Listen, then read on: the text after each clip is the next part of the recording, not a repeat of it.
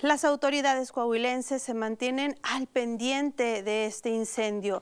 Aunque queda lejos del estado de Coahuila, se mantienen al tanto por si se requiere apoyo.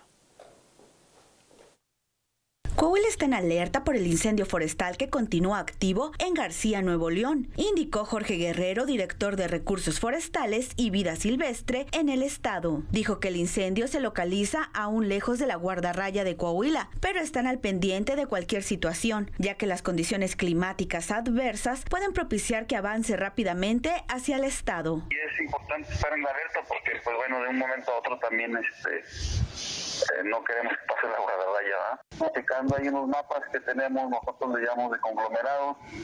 Eh, aún la guardarraya está a 10 kilómetros. Asimismo, informó que mantienen comunicación constante con las autoridades del estado vecino para monitorear el incendio y, si es necesario, prestar ayuda para su control y liquidación. Mira, estamos al pendiente y recabando información a través del Centro Regional de Manejo del Juego de la Por lo que respecta a Coahuila, pues estamos en alerta, estamos nutriendo de información y la idea es que pues si requieren de apoyo, con todo gusto eh, apoyaremos. Para Telezócalo, Diana Martínez.